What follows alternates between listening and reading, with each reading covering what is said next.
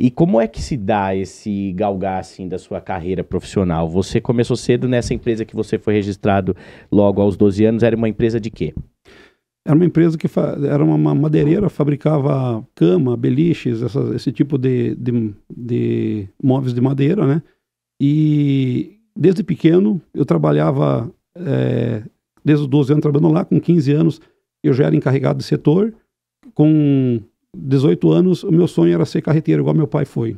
Né? E nessa empresa lá em Maravilha, eu não, eu não iria conseguir trabalhar com carreta que não tinha, né? Então, ah. com 18 anos, eu resolvi vir embora para São Paulo, que eu tive uma proposta para trabalhar com um caminhão aqui em São Paulo, fazer entrega dentro de São Paulo. Você sai de Maravilha, vem para São Paulo, realizar a tua vontade, que era ser carreteiro. Ser carreteiro. Eu... Mas o que ocorreu com seu pai não te traumatizou em nenhum momento, de pensar que ele poderia ter sofrido algo de um latrocínio correlacionado ao trabalho. Não. Eu, eu, acho que até essa, essa, nessa época não tinha caído a ficha ainda de, de tão perigoso que era a profissão, de tão, de tão é, do que podia ter acontecido com meu pai, até mesmo porque a gente não teve o corpo dele, não teve velório, não teve uhum. nada. Então, na época, a gente pensava só em trabalhar e o meu sonho era ser carreteiro igual ele.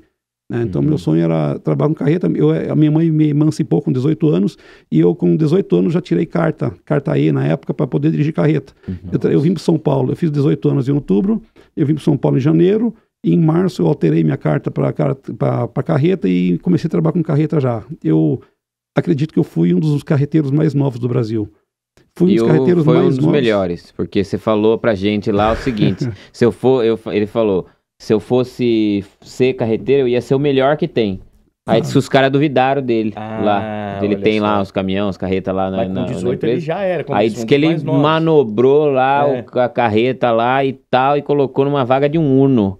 De tão bom que, ele, ah, que ele virou nesse negócio é aí. Bom mesmo. É, aí eu, eu costumo brincar, assim, ó, eu, falo, eu falo que eu fui o melhor carreteiro do Brasil, e os carreteiros metem pau em mim. Fica louco. Pô, Fica seis anos eu tenho de marcha lenta, os caras falam, né? Porque trabalhou só seis anos tá se achando bom, né? É. É, mas assim, ó, quando, quando eu falo que eu fui um dos melhores, eu falo, eu para mim eu fui o melhor, né? Porque. A gente tem que cara, acreditar na gente. Tem que acreditar né? na claro, gente, né, cara? É verdade. Mas é, é, uma, é um povo sofrido, os carreteiros, um povo trabalhador, carrega o Brasil pelas costas, tem é. muito carreteiro competente, muito carreteiro muito bom. Eu tive a honra de trabalhar com uma equipe de carreteiros na, na, na, empresa que eu trabalhava lá, que eram super competentes, aprendi muito na vida com eles, aprendi na vida o lado bom e o lado ruim.